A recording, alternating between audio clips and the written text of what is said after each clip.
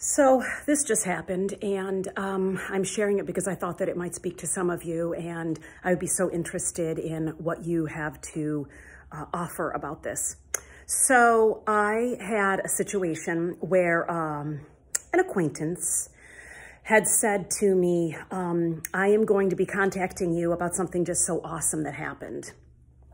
And I said, okay, this is a person I had vested a lot of uh, energies into. So I was like, yeah, okay, sounds good. And um, I waited and waited, and this person never contacted me. And I don't chase after people. She's the one who said she was going to contact me, so I let it be. Well, um, I just heard from somebody else that she's gone and told all these other people about this particular situation that happened and still hasn't reached out to me. And in that moment that this happened just a little while ago, I think it opens this way. yeah, good. Um, I realized that I had a choice. Okay.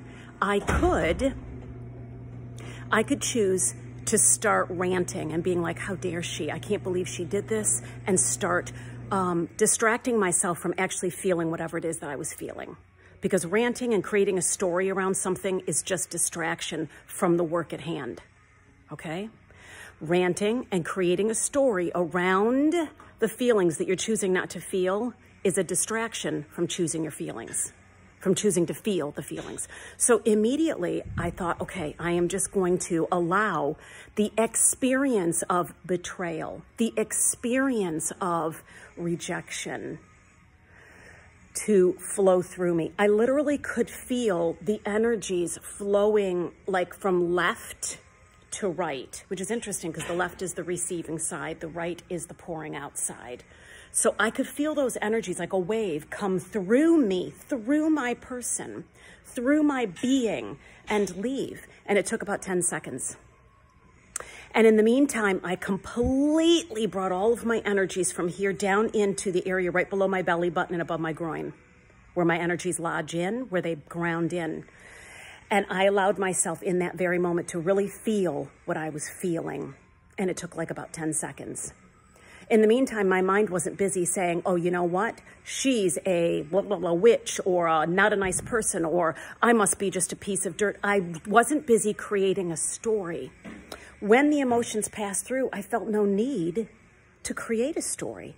I realized that I had just had an experience because of something that had happened in my life. But I didn't have to create a story around it. I could just experience the emotions that were happening at that moment. so I hope this helps some of you.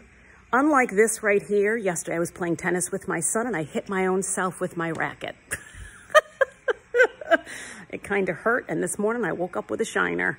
So uh, I would love if you left your comments below, share, subscribe, and I hope that this has been helpful for you to help you remember who you are as the experiencer. You are the I am presence.